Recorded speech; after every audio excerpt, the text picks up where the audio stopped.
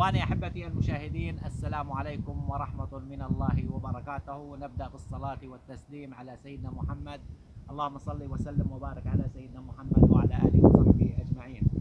سنشاهد اليوم إن شاء الله فيديو حراثة الأرض وتجهيزها إلى موسم الزراعة إن شاء الله. بعد هطول الأمطار طبعا الأرض مناسبة للحرث وهي طبعا تتبع عدة حرثات وأهم شيء إخواني قبل استعمال هذه الحراثة أو ما يسمونها العزاقة أو عدة أسماء حسب كل بلد أو منطقة. أهم شيء لبس شيء مناسب يعني تسمى الجزمة يعني للحفاظ على السلامة. تابعوا معنا إن شاء الله. إذا عجبكم الفيديو لا تنسوا اللايك والاشتراك في القناة ليصلكم كل جديد. تابعوا معنا.